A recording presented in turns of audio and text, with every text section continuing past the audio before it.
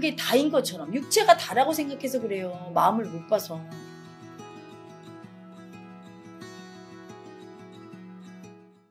우월함을 느끼고 싶은데 내 육체를 붙잡고 우월함을 느끼고 싶은 거죠.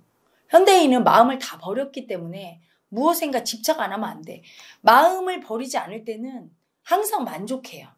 마음을 이렇게 아픈 마음 느끼고 이렇게 살다 보면 늘 행복하고 감사함이 많이 올라오니까 감사함은 그 자체가 행복을 주거든. 근데 현대인은 감사함을 잘 못 느껴요. 감사할 일이 세상에 널리고 널렸는데도 감사를 못 느끼니까 행복을 못 느껴. 행복을 못 느끼니까 행복하려고 애를 쓰다 보니까 집착해. 뭔가 행복해지려고 애를 쓰죠. 근데 그 행복을 우월감이 행복이라고 착각을 해요. 남한테 열등감을 느끼는 게 행복이라고 느껴. 행복은 그런 게 행복이 아니거든. 남을 우월감 느끼게 해주고 남을 행복하게 해줄 때 행복이야. 남이 열등이를 느끼고 남이 날 부러워하면서 막 어, 나는 못났다 이럴 때 내가 행복하다는 건 이겼다는 승리감, 빼앗는 짐승의 에고가 느끼는 집착이죠. 그렇죠? 그래서 남한테 열등이를 느끼게 하고 싶은 거지. 불행하고 나는 행복하고 나는 이렇게 잘났다는 마음을 느끼고 싶은 짐승의 에고들이 자기 육체에 집착해서 생각을 해봐. 그게 얼마나 우스꽝스러워.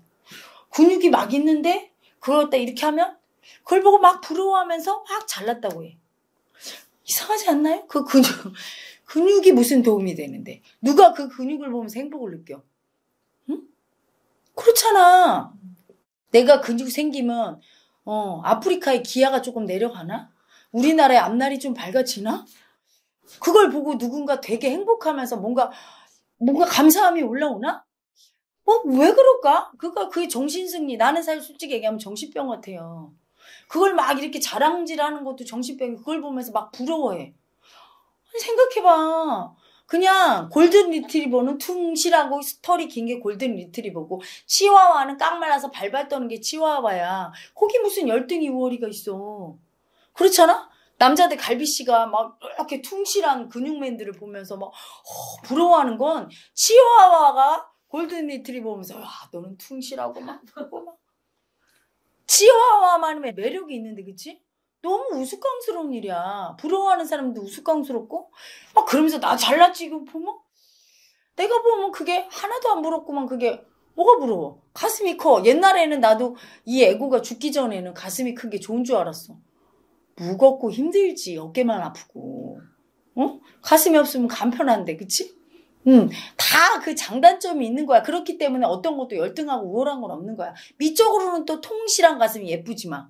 그러니까 그게 열등 우월은 아니거든. 그냥 개인의 특성을 갖다가 잘났다고 우월감을 느끼고 또 그걸 보고 열등하다 하면서 부러워하고 그게 다인 것처럼 육체가 다라고 생각해서 그래요. 마음을 못 봐서. 그래서 그걸 보고 부러워하는 자기 마음. 얼마나 어리석은 짐승성애고 집착인지를 좀 보세요. 그리고 그거로다가 잘난 척하는 아니 왜 잘난 척해? 세상에 무슨 도움 주는데. 아프리카 기아난민을 구했어. 아니면 누구를 행복하게 해줬어. 남들한테 다 열등감만 올라오게 해. 내 몸매 이렇다고. 그러면 남한테 불행만 주는 사람이지.